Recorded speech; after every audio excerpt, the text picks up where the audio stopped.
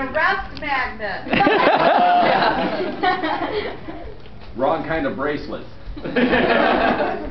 Um, I, I, I just wanted to come up and kind of talk about my experience Tuesday night into Wednesday night. Um, just what happened, being arrested, and just kind of what's happened since then. Um, uh, ben, Anita, Mark, John, and myself went to LA on Tuesday night, and it was we we decided to go before we knew that they were being raided. We just went. We, it was eviction week, so we wanted to just go, stay the night, show solidarity, and just you know connect and whatever. So.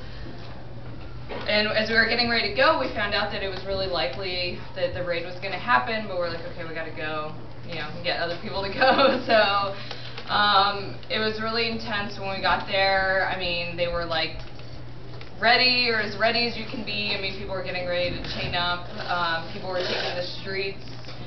You know, just tons and tons of people were there. Um, there was the news van situation was crazy. I mean, they had a media pool, so I think it was like 12 news agencies were allowed to be in there. Um, when the CNN news van came up, they pulled into the crowd. We saw the chief of police like run up to the van and tell the driver basically to get the fuck out of there. And then later, I, and I was posting this like as everything was happening um, to my Facebook and to Twitter, and I got multiple responses that the news like KCAL and Fox were reporting that uh, the occupiers were vandalizing the van, and that's why I was told to leave. And it's just like, no. so that was it, that was one of many things that I witnessed, and then saw the media that just you know just totally changed the story. So, um, but we knew that the cops were all getting ready at Dodger Stadium. I think they sent over like 27 city buses full of cops. Um, 31. 31. So, and the legal observers were walking around and talking to everyone to make sure that they were clear on what was going to happen. Um, they said that the cops would come in from all the, and they were expecting the cops to come in from all the entrances to City Hall Park. Um, they would give a 10-minute um, uh, notice to disperse, and those who wanted to stay and choose to be arrested could. And that or we would be able to go out onto the street if we didn't want to be. So um, we were we decided that we would sit in the park and you know stay there as long as we could without getting arrested. And I think we were sitting we were right next to the city hall steps, me, Ben, Anita, and Mark. And the next thing I know, people just started screaming and just hundreds of cops in riot gear come flooding out from the inside of City Hall.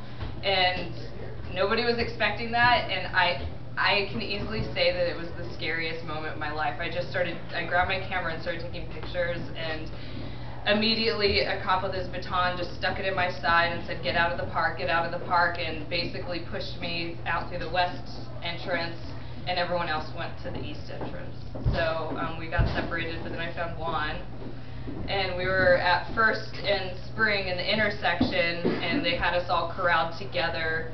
It was a, like a wall of cops um, at First and Spring. Um, we were in there and we were chanting, holding signs, um, taking pictures of what the cops were doing across the street. We were pretty close to the media van, so I think we actually saw some pretty lightweight stuff, even though we definitely saw, you know, six cops take down one woman who was on her bike going by.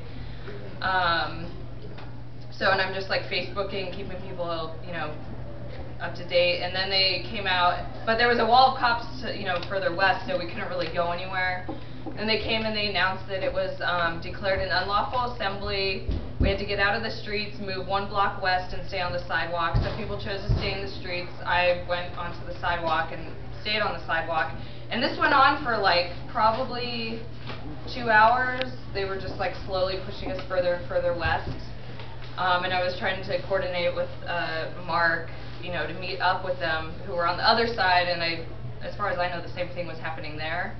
Pretty much. Pretty much, okay. So, um, anyway, so this keeps happening. I'm looking at Twitter, hearing uh, people who were in trees, when the cops came up to them, they were told to put their hands in the air. When they did, they were shot with bean bags and plastic bullets. People were, were pepper sprayed. Um, and this was all inside the park, and the media couldn't get in the park, and so it just, you know, not a lot of people saw this. The pe- there were cops in hazmat suits, and they were searching the tents and you know pulling stuff out of the tents. But the media reported that they were afraid. They had heard that occu- it was alleged that occupiers were storing fecal matter and urine in buckets to throw on the police, and that's why they wore hazmat suits. Yeah. um, Shit. So anyway, so I get pushed all the way back to the sidewalk. The cops were running at us, and people were, you know, basically like stampeding up further west. And I was about three or four blocks up, and they kept telling us to disperse. And the east, west, and north side of the streets were blocked off by cops. So I was like, if I go to Sec and, and um, Hill, there are no cops there. I see some people just out. I'm like, I think I'll be safe. So I was walking on the sidewalk by myself, and then I see about 20 cops running around the corner, and then five cops charged at me, told me to put my hands behind my back and put my face against the wall that was there, and I said I was just trying to leave, and they said too bad. And I was arrested and immediately walked to one of the buses. Um, we were on the bus for seven hours.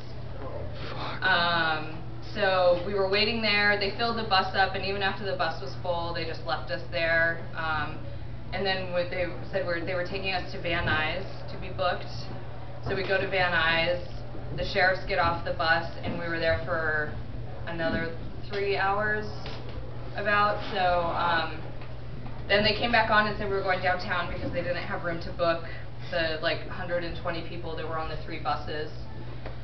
Um, so we went back to downtown LA, and, a lot, and on the way there, the, they stopped at a Starbucks for 45 minutes while we were all on the bus. People were urinating on the bus, throwing up. Um, another girl told me that someone defecated on the other bus because they couldn't hold it and they wouldn't let anyone off to use the bathroom.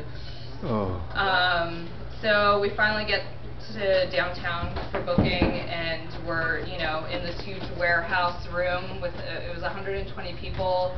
Some of the people had already gone into Van Nuys, so people were just spread out all over the place. It was I was arrested at 2:30 a.m. I wasn't booked and processed till 5 p.m. Um, that means I didn't get a phone call, couldn't talk to anyone from the NLG, nothing. Just you know, we were just sitting there, not sure what to happen. I couldn't get a hold of Jared. Um, it was about 16 hours before I didn't, you know, before Jared actually knew what exactly was going on. Um, so my bail, uh, which most the bails were all they all started at five thousand dollars. Mine was five thousand. Um, I was charged with unlawful assembly, which is a misdemeanor.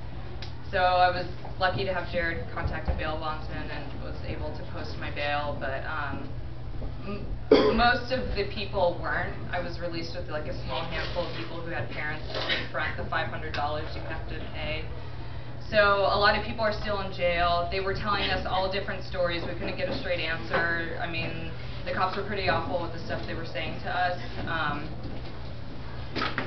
so I don't know. I mean, if, if there's anything that you can do, a lot of the people that were arrested did rely on Occupy LA as their home because they kind of were coming from backgrounds where they were couch surfing or some who were already homeless and then stayed there and then started volunteering there.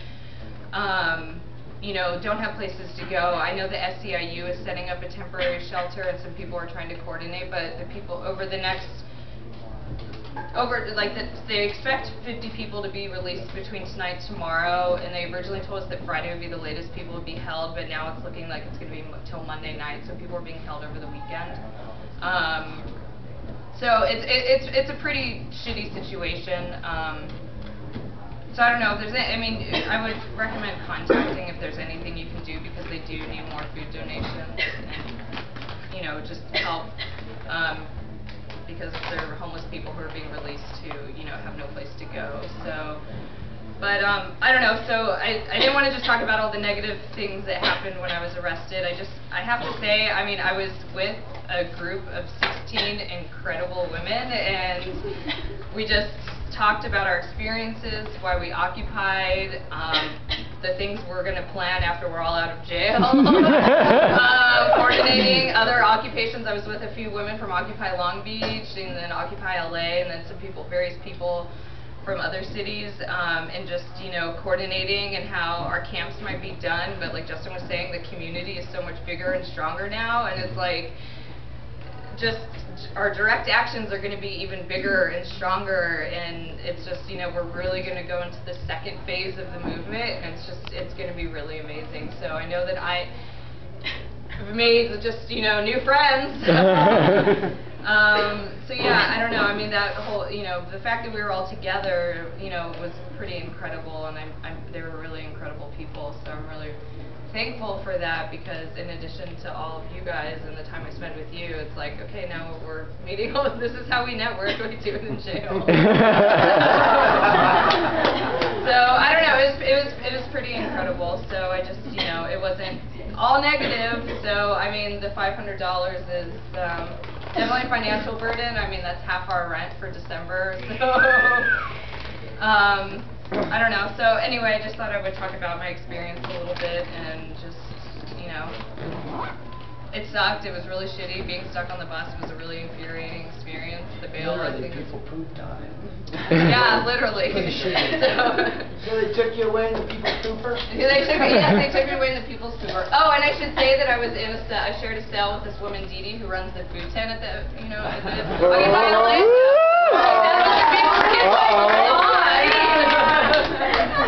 But um, I don't know. Thanks for listening. I've been up here for a while, so yeah. I don't know. And also, don't like. I, I mean, I don't trust cops. I hate them. I don't think they're part of the 99%, and I'll always stand by that. And I know that that's like a big topic of debate, but um, I just, you know, I, I'm gonna throw that out there. But like when cops tell you that there's a safe space and there's like 2,000 of them, like there's no safe space.